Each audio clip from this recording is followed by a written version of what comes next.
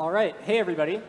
Um, so, first off, a question. How many entrepreneurs do we have, or aspiring entre- entrepreneurs do we have in the audience? Raise your hand if you're a, an aspiring founder or a founder.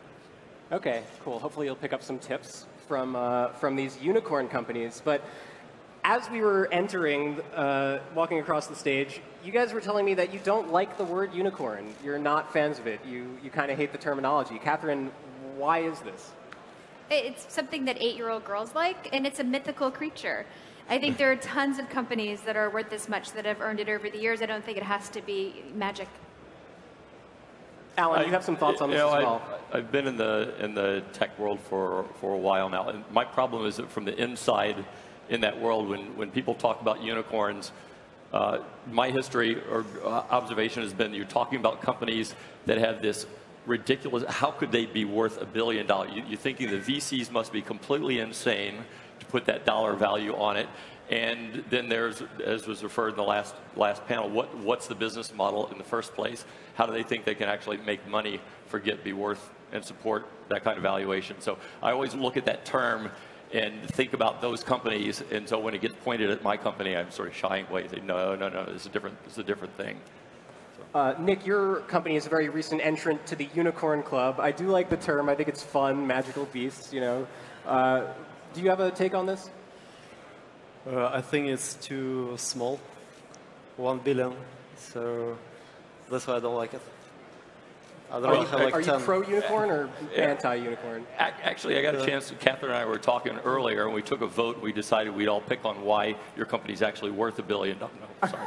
Oh, get into it. Let's do it. Um, actually, I mean, that is something that we can discuss. You recently, I mean, there's been a big crypto mania that's happened uh, over the past year or so.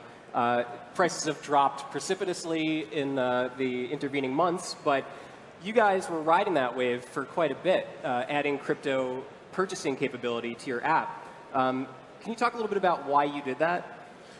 Well, simply demand from customers. Uh, but reality, crypto is not a large part of our business. I would say it's uh, less than uh, 10% of revenues. Uh, but uh, uh, if customers want, you know, to, to buy, sell cryptocurrencies, so we, we provide this, uh, this capability to them. Alan, do you have thoughts on cryptocurrency? What, are, what do you think about Yeah, Bitcoin? we were talking about that Like- earlier as well. I think the, the biggest value today in, in Bitcoin and crypto is actually putting that in the title of your company because that's going to get you to a billion dollars quicker than actual using it. Have you considered. Bitcoin Oscar Health? Uh, not, not Bitcoin. We're, we're looking at blockchain. I've been looking at that and thinking about it for health records, distributed ownership, or distributed repositories of, of sensitive content that consumers can, can manage themselves. Uh, but in terms of transactions and money processing and paying claims and the like, I, I, I don't see that, that for, for a long time. Kathryn, how about you? Have you considered cryptocurrencies or any of the related technologies over at Kabbage? Our customers aren't asking for the ability to use those currencies. Um, I suspect that's because they're busy running businesses and not thinking much about that. But we thought crypto with a K might be good for us, just Kabbage crypto. Um, we are also evaluating the distributed ledger technology because there's a lot of great, whether it's for audit purposes, whether it's for smart contracts, um, whether it's for money transfer. I think there's a lot of great technology that's growing up in and around uh, the crypto ecosystem. Blockchain is also another very hyped word right now. Everybody's looking at that, like you said. Is there actual potential there? Like, what is the hype level versus the real potential use case for this technology? For blockchain. For blockchain, yeah. I think there's tremendous use for it. I, to me, I think that, that it most disintermediates the traditional institutions that are the, the money centers in the world who make a lot of money because they get to sit on it. And so I think the ability to democratize access to the flow of funds, whether it's for um, remittances for people who are sending money to family and um, in other countries, or whether it's simply to um, ease the transfer of funds between institutions, I think there's a huge opportunity for that. And Alan, in actually trying to explore some of this technology and see whether it, uh, you know, works as they say it does, what have you experienced? Is this technology where it needs to be yet? Are you waiting? I'm actually not as worried about the specific implementation yet. The implementations are early. Everyone knows about the performance challenges around, around this distributed access. The, the concept I'm more interested in, as Kathryn mentioned, is the distributed ledger, where it's encrypted. The user the owner of the content gets to maintain or manage access to it, and there's no specific owner. Uh, we're, we're in the healthcare world today, and we're actually an insurer, and there's this tug of war over data ownership that's pervasive in, in our industry. The, the hospital systems, the doctors, uh, doctors' offices, the EMR vendors want to own the content around a consumer. The insurance company have a lot of information around them from claims and so forth. We need to be able to tie all of this together so that any interested party that is supposed to get access can get access to that entire set of content without it being siloed and, and controlled by, by individuals. And I think a distributed ledger has a lot of potential there. Whether it's a blockchain as the actual implementation, I, I'm not worried about that part yet. I don't want to make this talk all about crypto, but how many cryptocurrency owners are there in the audience who, who actually holds on to this stuff? There are quite a number, so all right, we're not going too far afield uh, in terms of our audience interest. Um, Nick, one thing that I found very interesting is that you can buy crypto through your app, but you can't exchange it. You can't you know, put it anywhere. Um, you kind of just have to hold on to it on your phone. And that seems to contradict the idea of this sort of like, you know, free-flowing digital money without borders. Um, why is yeah, that? Yeah, it's uh, thanks to money laundering regulations, right? so that's uh, the answer. I mean, reality is uh, so uh, right now banks, they uh, can't really see the origin of funds if, if funds are being uploaded to account um, from, you know, with, crypto, right? As a result of it, it's extremely high risk inflow. And as a result of it, because all banks and know, schemes, they work in effectively in partnership, so banks uh, are not allowing it to do it, and then uh, we, we, we can't do it as well because we are part of, their, of this ecosystem. Mm -hmm. I'd like to talk a little bit about where each of your companies came from. Uh, where did the idea come from? You know, we can start with you. Uh, sure. It's so, a very new company. It's only three years old. Yeah, so it, it was launched uh, three years ago. Uh, and the idea was simple. So I was an expat uh, living in London, uh, so with a bank account in HSBC. And I was always, always you know, hating HSBC, hating you know, bank fees they charged for every transaction. Then, you know, I tried to open, you know, uh, multiple accounts in HSBC, one in dollar, one in euro. It was a hassle. I always, you know, lost passwords for it. And then I thought, okay, I, I need something, you know, very slick and simple. Uh, I looked in the market and then uh, uh there was no product that uh, I, I needed, effectively. And then I created, effectively, account plus account, uh, which allowed you to spend and send money for free anywhere in the world, right? and then with time, we, we added more banking products like credit, insurance, cryptocurrency, business accounts. So we became uh, like effectively digital bank, uh, but targeting uh, global audience. So basically, you were trying to avoid these fees that accrue anytime you take money out in another country. Yeah, exactly. The initial idea was just you know to avoid fees, uh, and later this idea transformed into uh, global financial services companies, which uh, which which provide you all financial uh, services and products that you need through one simple interface. You brought up regulators and you brought up London. How is Brexit going to affect your operations? Uh, I hope positively, but we'll see.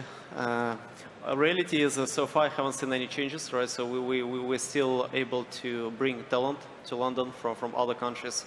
Funding is still there, so a lot of VCs uh, uh, are ready to invest. So far I haven't seen any changes. So the only uh, thing that we had to do was to apply for a few licenses in Europe but again, it just, you know, it's, it's not that uh, complicated. Mm -hmm. Kathryn, let's talk about the origins of Kabbage. Um, as I understand it, originally it was originating loans for eBay sellers. Is that right? That's right. How did you go from, where did that idea come from, and how did you go from there to where you are now?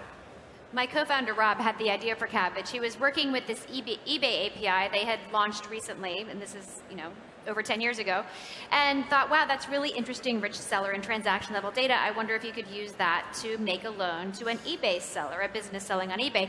And he called me up. My background was in fintech, though it wasn't called that at the time. And I thought, wow, that's really neat. Consumer lending has been automated since the 90s. Why wouldn't you automate a small business loan? And it turns out nobody else was doing it at the time.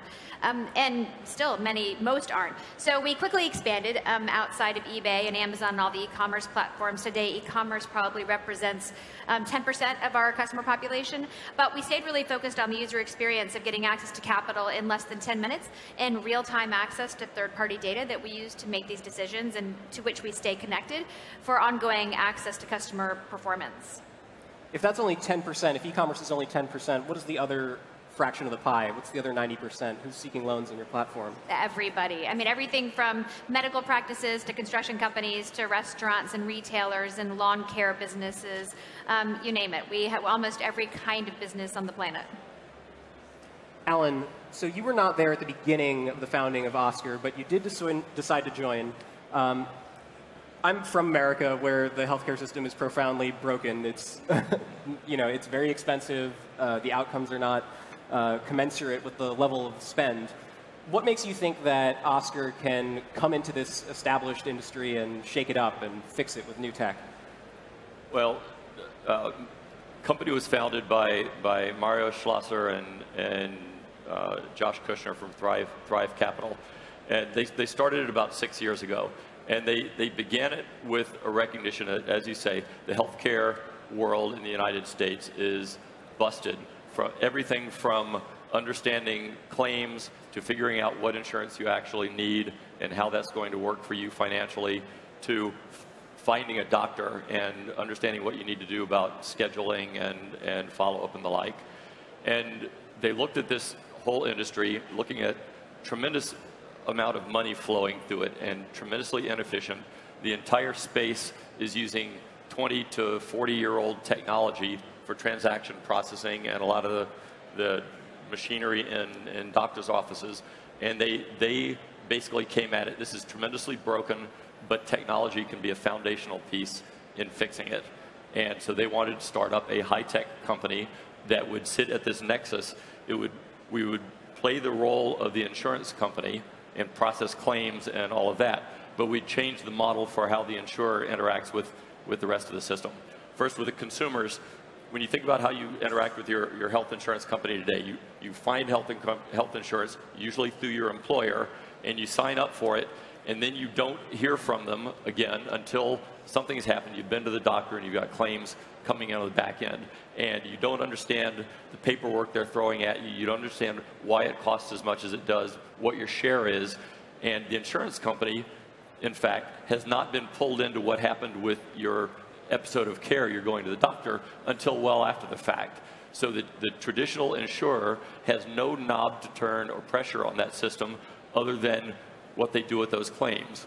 And in particular, making it very painful for you to get your money or get your coverage and, and so forth.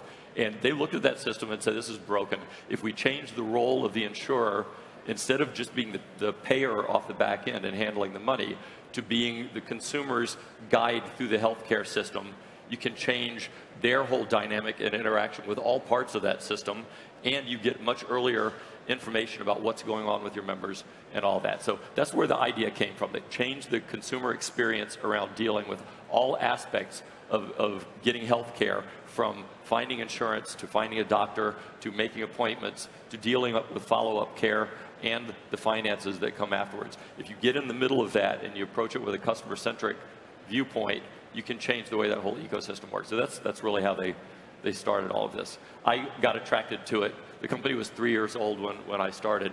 Uh, I was at Google for 12 years. I've been in the middle of, of the technology space for a long time. And I was looking for something uh, in a space that I thought really meant something. And for me, education and healthcare are the kind of two domains of interest, and one in which technology, I think, can make a huge difference in, in how it operates and, and transforming the way it, the way it works. And Oscar was the right opportunity at the right stage, really starting to grow very quickly, uh, desperately needing someone to come in and help grow the technology side of the company and, and the right starting people in, on, the, on the team. One of the many projects you took on at Google involved healthcare, uh, and it wasn't exactly a success. Maybe you can talk a little a bit disaster. about that. Disaster. Okay, I didn't want to say not, it. Not quite a disaster. This is back in, in 2007, 2008. We started up Google Health, and Google Health again was around personal health records and the desire to set up a system where the consumer owns their own data and they can control who can get at it and how. The problem with that start was that Google, were there two problems. One was timing. All the legislation around free ac- freer access to medical records throughout that ecosystem had not been passed yet. So there were still these strong silos. But the other thing is that Google was operating from outside the healthcare system on the, on the, on the consumer's behalf, but they did not have direct ties to the hospitals and to the, the pharmaceutical companies and, and labs and, and all of that. And they had to work on partnerships to, to close those loops so they could pull the data in. And doing that from outside the healthcare industry is an enormously daunting task. It's very slow, was not growing at the hockey stick rate that Google looks for and, and expects out of, out of uh, the ventures that it, it, goes after. So it, we tried that a couple of years and then decided no, we're better off putting resources elsewhere and, and tackling other problems. But I, I still have this desire to build out that system where this, this, these records are longitudinal. You have them for your entire life, not just while you're with this hospital or with this doctor and you get to control who can get at it and, and curate, curate that content. And actually, very recently, Alphabet has plunked down 300 or so million dollars uh, into Oscar. Yep. So there's this nice sort of confluence of events there. Yeah, that, that's been a huge uh, infusion and, and, really a validation point for where, we, where we're at today. Uh, Alphabet has huge coffers. They get to look around the industry and and really survey everything that's going on. And they look at spaces that are big, like healthcare, and then they look for companies that they identify as, as real innovators and having potential to really, really change the way those, those worlds work. And the fact that they placed a bet on, on Oscar is a huge uh, confirming validation point for us internally. Uh, Oscar seems very heavily invested in sort of the U.S. healthcare system. Are there international ambitions for the company? Uh, not for the foreseeable. Uh, I'm a platform guy. So all of the technology that we're building out could be used across a variety of markets and, and geographies, but we're really focused on building our business in the United States. Uh, we're actually in the middle of open enrollment right now. The in insurance market, the individual insurance market in the United States goes by step functions. You get all of your new membership in November, December, and then you're flat for the year, and then you go up. And so we're all in the uh, recruiting new members for 2019 right now. We, You've we reminded me I have, have to pick my healthcare plan for the next yeah, year. Thank but you. We, cur- we currently have about a quarter million active members across six states and nine, nine markets. How many people from the US do we have in the audience? You can raise your hand. Not that many. How many people from Europe? Oh, yeah, lots from Europe. Well, sorry, this next question's not for you. It'll be a while, sorry. Nick, your company is expanding overseas into North America. Uh, why are you picking that market to go after, and what are you doing to you know, make an entree? I mean, our, our philosophy is uh, a bit different, right? So we want to usually grab as much as possible, and because we're building a, a global bank, a global company, then it makes sense, you know, to expand in as many countries as we can uh, support, which is US, Canada, Australia, uh, New Zealand, Japan, and so on. Mm -hmm.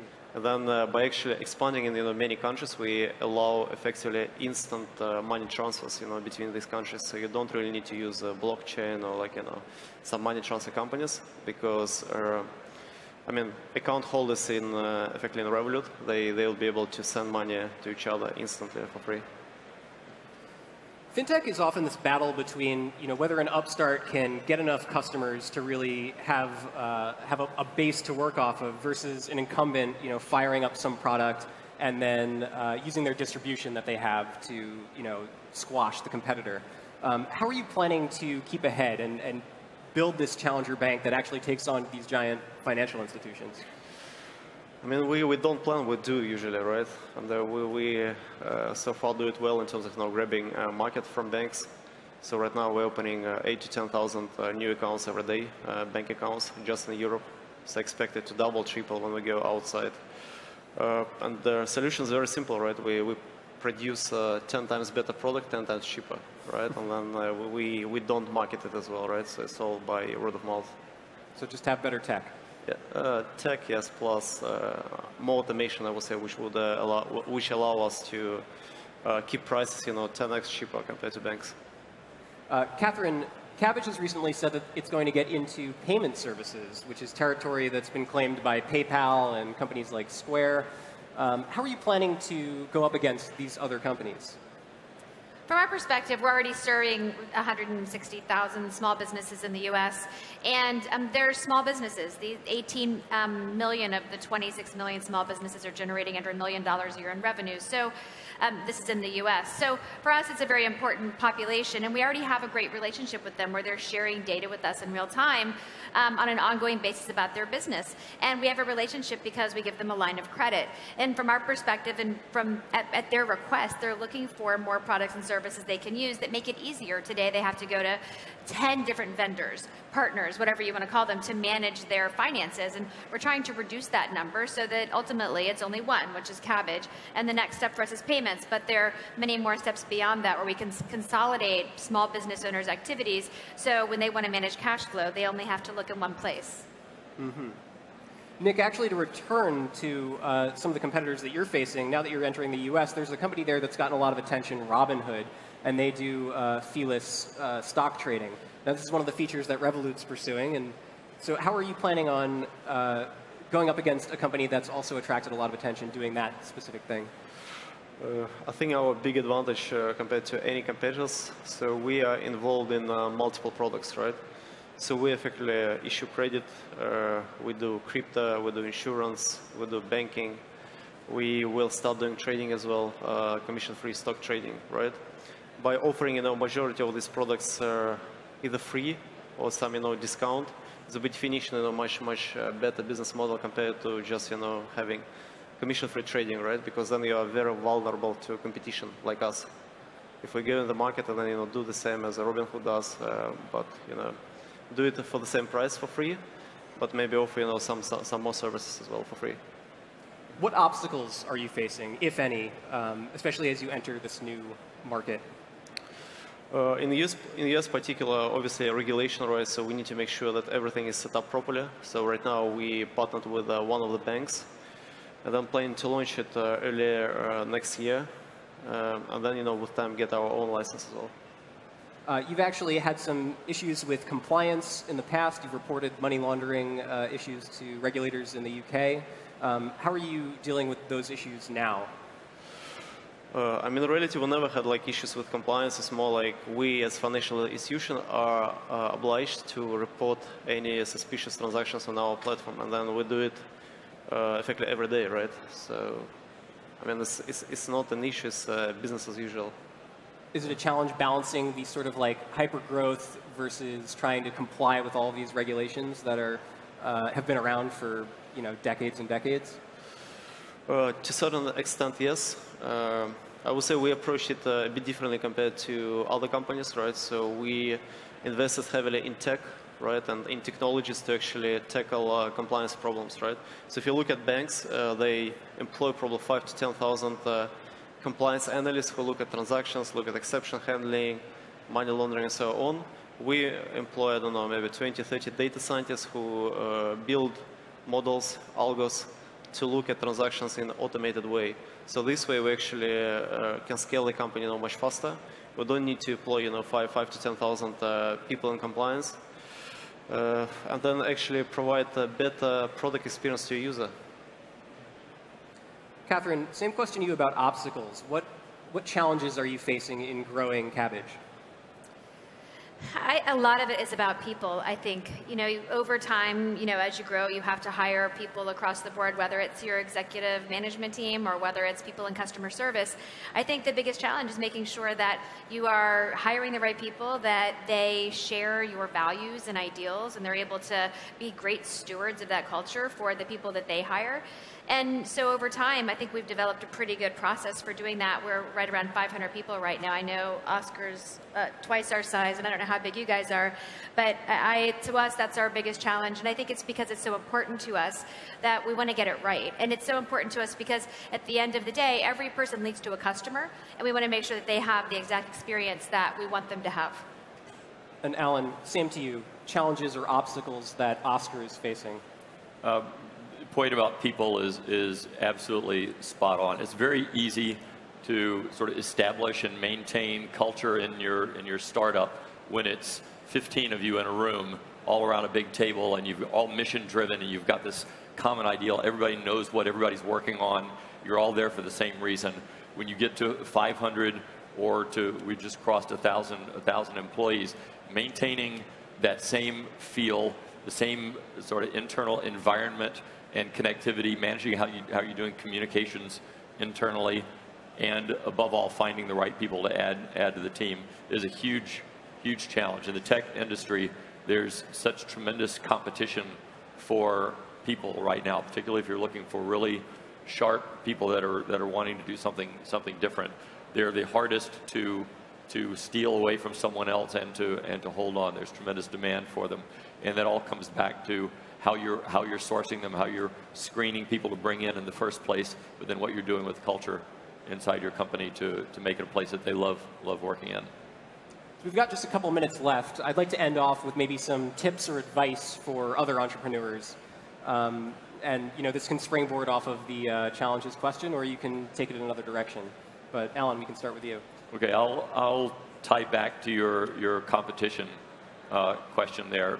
Going into some space that's large, you're either trying to do something greenfield, and then whether it catches or not is this big, to my mind, a big coin flip. But if you're going in as a disruptor, there's an existing world and ecosystem out there you're trying to help drive change in. And you're always going to find some parties in that, in that system that understand it's broken and it needs to change, and others that are defensive and holding on like hell to their old model and trying to prevent you from getting in. So focusing on finding like-minded people in that space that want to drive a change and that you can partner with is a huge factor in whether you can actually go in and, and disrupt something new.